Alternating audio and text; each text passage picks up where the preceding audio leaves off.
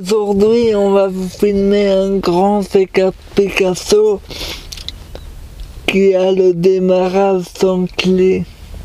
Tout à fait. Euh, C'est un start-stop comme on dit, hein, ouais. où il faut actionner l'embrayage et on appuie sur le bouton. Tu vois, je suis obligé d'actionner l'embrayage. Sinon ça ne démarre pas. D'ailleurs, voilà. Donc bah, écoute ici Martin, moi j'ai j'ai, euh, un volant déjà où il y a beaucoup de beaucoup de commandes Beaucoup de euh, commandes. Il y a une commande vocale hein, qui fait appel à, à une voix qui, va, qui va nous demander ce qu'on veut faire. Est-ce qu'on Ouais. veut aller quelque part? Est-ce qu'on veut téléphoner? Mon téléphone est connecté directement à la voiture. hein. Quand je Ouais. rentre dans la voiture, il est connecté par. Bluetooth directement. Euh, évidemment, on a accès à, à la radio. Euh, On peut augmenter et diminuer le volume. On peut, euh, on peut régler la vitesse. hein, faire, il y a un régulateur de vitesse, un cruise control, comme, dans beaucoup de voitures, voilà, adaptatif, comme dans beaucoup de voitures aujourd'hui. Ouais. Et puis voilà, des petites options. euh, voilà, le téléphone, ici je peux décrocher et si je veux téléphoner directement de là. D'accord? Ouais. Voilà. Qu'est-ce que tu as envie de savoir avant qu'on démarre encore? Alors, tu, as, tu es sur euh, une version quand même business, hein, une version confort avec des sièges en cuir. Une version confort. Voilà, avec des sièges en cuir qui sont chauffants. Si tu regardes ici en bas, il y a une manette ici qui permet d'actionner un- un- des rouleaux de massage dans ton dossier. Donc là, je les mets en route. Tu vois, il y a un petit Ouais, bouton vert ouais. qui s'est allumé. Normalement, tu vas sentir progressivement des petits rouleaux qui vont masser ton dos. Quand tu as un petit peu mal au dos à force de, de conduire, hein, quand c'est des longues distances, c'est toujours intéressant. Et alors aussi les sièges sont chauffants. Donc là je vais le mettre en route, tu vas le sentir progressivement, peut-être pas tout de suite tout de suite, mais l'assise va chauffer. Donc pour ceux qui sont un petit peu frileux, c'est confortable. D'accord Voilà. D'accord. On démarre On y va Oui. On y va. J'ai mis, ta ceinture, je mets la mienne. Voilà, on est parti. Donc évidemment, direction assistée, hein, ça c'est pour les rotations, pour tourner, c'est quand même beaucoup plus facile. hein. Ouais. Voilà. On va prendre la N25 et moi je propose euh, bah, d'aller vers chez toi, quoi, vers Otigny, quoi. hein, Ça va Tu vas comme pour aller à l'Enox. Ok, ça va. Donc on a une possibilité aussi de, de varier le- le- la présentation des écrans. Tu vois, donc ici je peux changer les écrans. Regarde, il y a un affichage à droite qui se met Ouais. soit en minimal. Voilà, minimal, il y a vraiment que le minimum qu'on a besoin. Tu vois, tu n'as que la vitesse. Euh, et alors je peux changer ça en cadran. Par exemple, cadran, voilà ce qui se passe. Voilà, tu as tous les cadrans avec euh, la consommation euh, depuis le début du plein qu'on vient de faire. Voilà. Et alors il y a différents types d'écrans aussi, mais je peux aussi changer, voilà ici, conduite. Alors est-ce que tu vois le... Voilà, ça c'est la conduite, il est en train de me signaler quelles sont les bandes à gauche et à droite de la bande où je suis. Là, quand les deux sont vertes, ça veut dire que je suis bien au milieu de ma bande. Si jamais je m'approche un peu trop de la bande du milieu, regarde, elle devient orange. Et qu'est-ce que j'ai qui clignote? Tu as vu le petit, le petit voyant jaune qui clignote? Ouais. alors je vais t'expliquer tout de suite ce que c'est. On va d'abord se remettre sur une ligne droite. C'est un, un- comment dire, un rappel de un- un- une aide à la conduite qui permet, si jamais tu t'endors ou si jamais tu ne te rends pas compte que tu changes de bande, regarde, je vais lâcher le volant. Il va se diriger vers la bande, mais alors il rappelle lui-même. Le volant revient à droite pour me dire non là vous êtes en train de sortir de la voie. Et pareil à droite. Oui, oui. Regarde, là si j'essaye avec mon volant d'aller à l'extérieur, il revient lui-même. C'est lui qui me redirige. Regarde, je ne fais rien. Le volant me redirige dans la voie. Bon, évidemment, si, c'est, si le virage est trop important, je pense qu'il n'est pas capable de, de- de le faire euh, euh, dans toutes circonstances. Mais on va se remettre dans une ligne droite et tu vas voir que ça fonctionne. Et ça, évidemment, si par exemple on a une bande continue ici au milieu, il va pas accepter que je change de bande parce qu'il il sait qu'on ne peut pas évidemment changer de bande quand la bande est continue. D'accord? Par contre, si je mets mon clignotant, si j'ai l'intention de changer de bande, à ce moment-là, la voiture ne va pas me, me maintenir dans la voie, elle va accepter le changement de bande.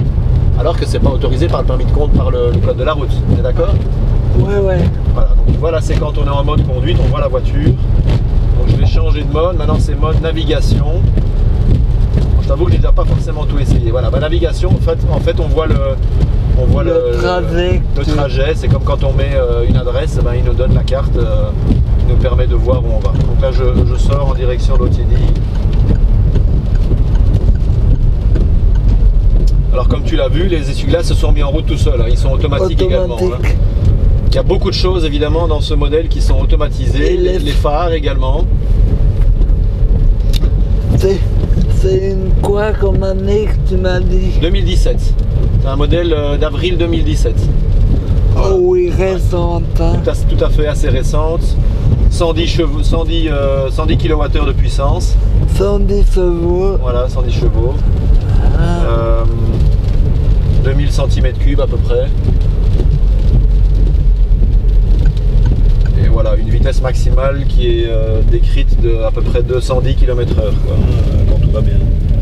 Ce qui est bien mais qu'on ne verra pas aujourd'hui parce qu'on est encore en, en plein jour, c'est que les phares sont directionnels. Donc ça Ouais. c'est vraiment intéressant quand tu es dans une zone vraiment obscure et que tu es en train d'amorcer un virage, tes phares vont éclairer vers la route où tu te diriges. Donc ils vont pas éclairer euh, à l'extérieur du virage, ils vont se diriger vers, vers le- la rotation. On fera, on fera un test tout à l'heure de, de stationnement en créneau avec le système de, de parc assist, d'accord? Ouais. Mais pour l'instant, voilà, on le fera dans l'autre sens parce qu'il y a des voitures dans l'autre sens. Ici, c'est pas possible dans ce sens-ci. Mais c'est vrai que là, il y a plein de possibilités. Et moi, j'ai vraiment pas besoin, tu vois, comme ici, juste une place entre deux voitures. Là, il y a déjà beaucoup de place là.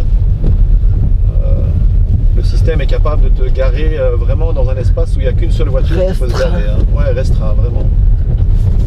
Et là, c'est je vais. Je vais où? Ah, ici, tu habites là, le long de la rue? D'accord, moi je Ouais. pensais que c'était dans une des perpendiculaires. Non, non, euh. Alors on fait demi-tour alors Ouais. Ah, Ok. Voilà. Eh ben on va essayer, hein. on va essayer de mettre en route le parc assist, on va voir ce que ça donne. Ouais, ouais. Alors, donc ici, regarde, j'ai un bouton ici. Tu habites où? C'est- Ah bah c'est la maison là, je là. reconnais la voiture. Ah, Bah c'est parfait. Donc là, il n'y a personne derrière moi, donc j'en profite. Regarde ici.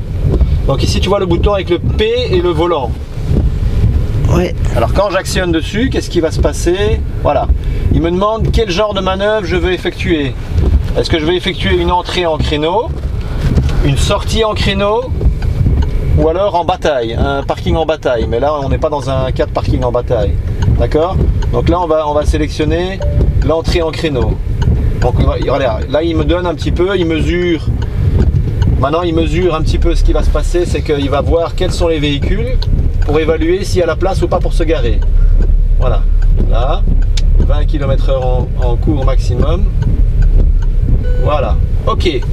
Il a dit ok. D'accord? Et donc maintenant, il demande reculer. Pour reculer, je mets la marche arrière, je lâche le volant et on y va. Et on est parti. La voiture fait tout seul. Il n'y a rien à faire. Voilà. Voilà. Hop. Ok. Tu entends le bip bip Ça c'est les capteurs euh, arrière, parce qu'on se rapproche de la voiture qui est derrière. Ouais. Hop, maintenant je mets la marche avant, regarde le volant toujours, il va se mettre correctement dans la bande, et voilà. Stationnement terminé. Impeccable, hein? Ouais, impeccable. Ça c'est vraiment génial, hein. je trouve ça vraiment génial pour les personnes qui ont du mal à faire un, créneau. Et la même chose pour sortir, donc regarde, sortie en créneau, choix du côté par clignotant, donc on indique, voilà, je vais aller à gauche, donc comme ça il sait de quel côté je veux sortir. D'abord on recule, hop, et puis on est parti. Attention, voilà, regarde, je fais rien du tout, regarde ici, regarde ici, c'est la voiture qui tourne, hein. tu vois? Et voilà, c'est parti, et on reprend. Voilà, voilà, C'est vraiment très chouette, hein? chouette. C'est agréable, hein? Non, ça c'est, ça c'est précieux parce que c'est vrai que ou les personnes qui ont du mal à se retourner en arrière, s'ils ont des douleurs à la nuque ou quoi, et qui ont du mal à faire la manœuvre, voilà, c'est, c'est franchement une aide intéressante euh, dans ce cas-là, quoi. Alors je te propose d'aller un peu sur, euh, soit un petit bout sur la 411 ou bien sur la N25, Oui, oui. si tu veux. Et moi, je suis très confortablement assis. euh, D'accord. ça, y a pas à dire. euh, Ok, c'est confortable, oui. Alors on va mettre un petit peu plus de chauffage peut-être parce que là il y a, il y a pas, il y a 21 degrés. Il n'y a pas beaucoup de On va augmenter un tout chauffage. petit peu quand même pour que ce soit plus confortable. Surtout qu'on est en hiver quand même.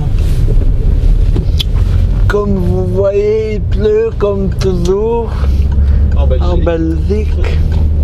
Et vers le haut, ici tu vas voir un bouton qui s'appelle SOS, ici rouge, et un autre bouton qui ressemble au sigle Citroën. Tu vois Ouais. ces boutons-là Alors, ouais.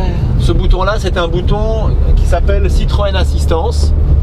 Donc, si jamais on est, le véhicule est immobilisé pour une raison ou une autre, un pneu crevé ou un Oh, problème man. comme ça, on peut actionner ce bouton et il y a, il y a une- il y a une- un personnel de l'assistance Citroën qui nous répond comme un téléphone et qui nous demande euh, ce qui se passe et quel problème on a. D'accord Ouais, ouais. L'autre bouton qui est là, le bouton rouge, donc SOS, c'est un bouton d'appel d'urgence qui, euh, qui peut, en cas de besoin, prendre contact directement avec le 112, donc les, les services d'urgence, euh, euh, police, etc. Donc c'est quand même aussi précieux si par exemple tu es coincé dans ta voiture ou que tu n'as pas de téléphone, tu peux avoir un, un- un accès à ces deux services qui sont le service d'assistance Citroën ou les, les services de secours. Ouais, ouais. Intéressant, hein Intéressant. quand même précieux ça si jamais euh, y- on en a besoin. Bon après il y a les systèmes de confort, d'éclairage de la voiture, tu vois ici où on peut vraiment euh, allumer Ouais. euh, la conduite de chacun. Si mon fils ou ma femme s'ils sont à côté veulent lire, ben, ils peuvent avoir cette petite lumière qui ne me dérange pas pour conduire quoi, tu vois. Ouais, Voilà, moi je vais éteindre pour l'instant on n'en a pas besoin. c'est sûr.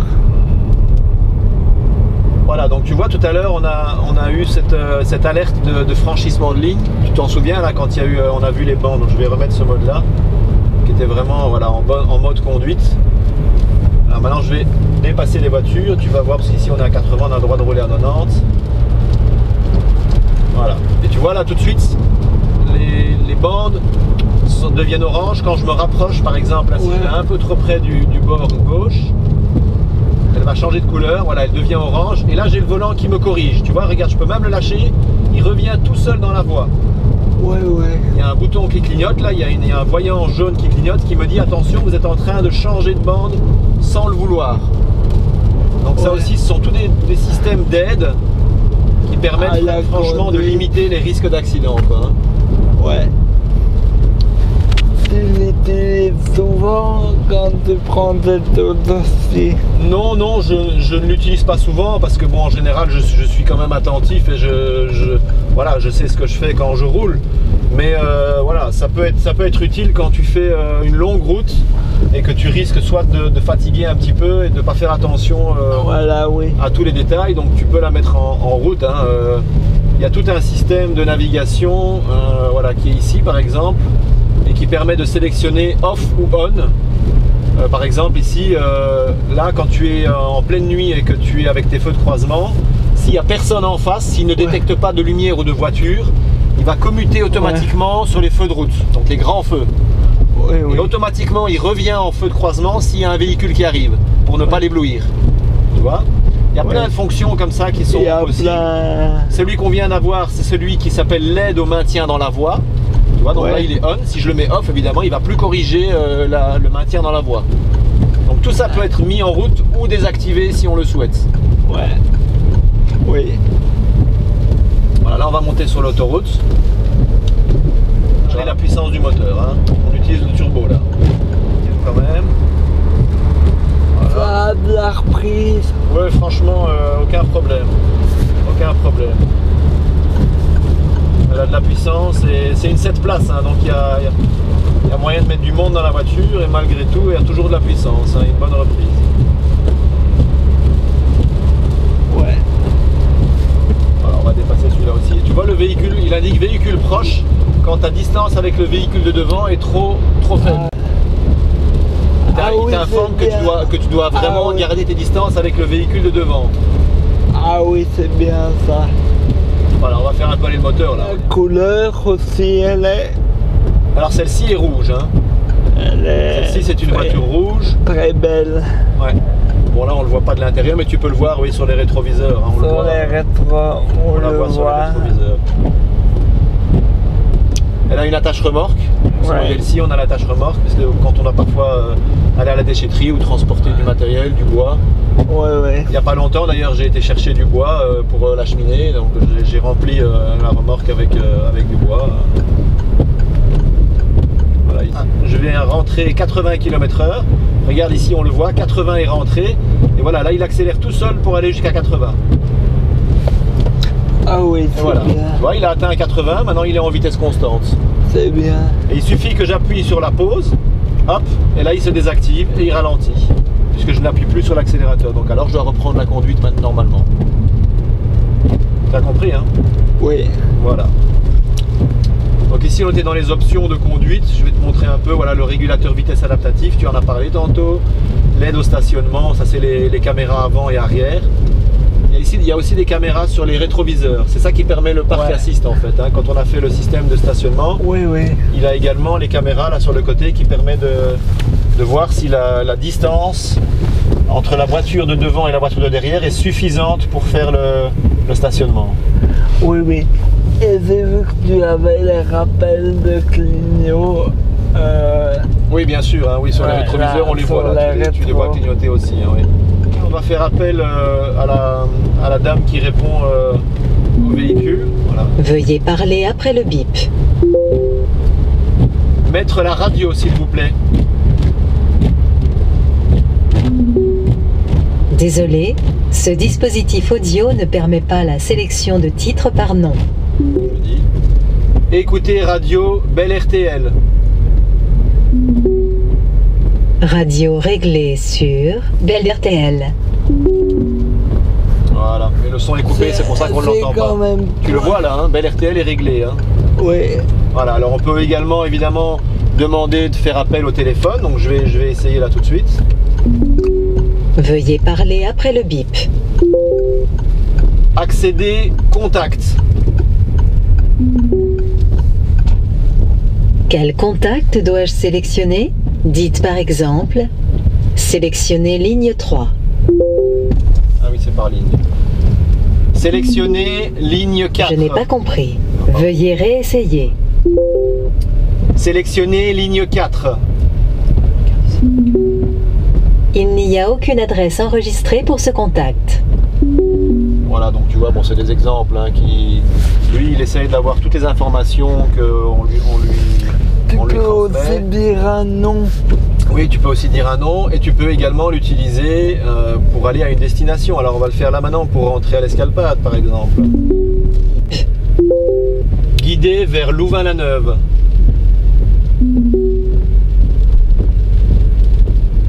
Voulez-vous être guidé vers l'adresse Louvain-la-Neuve? Oui,